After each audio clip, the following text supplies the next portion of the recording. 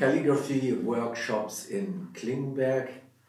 They are a real tradition. By now, I started them in 92, so it's quite a few years since then.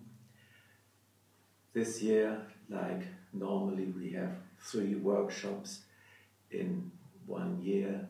The first, the next one is from the 19th of February till the 21st, a normal weekend. The next workshop is in uh, the 30th of September uh, till the 3rd of October. This is a larger weekend and another normal weekend, uh, the 11th of November, of November till the 13th of November.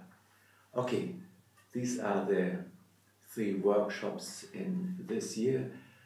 Prices and so on you find on my webpage kalligrafie.net.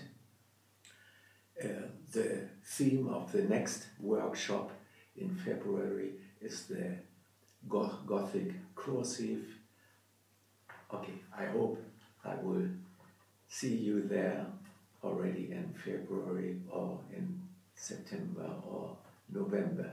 Okay, the calligraphy workshops in Klingberg. Oh, Klingberg is a, a little village uh, near the Baltic Sea, 30 kilometers north of Lübeck, easy to reach with the train which goes to, to, to Denmark. It stops in Scharbeutz and the other train, the line, which are more or less three or four kilometers from Klingberg, is the station Pönitz, 35 kilometers north of Lübeck.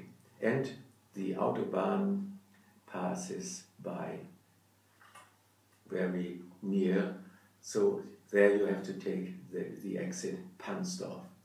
Okay, hope I see you in Klingberg.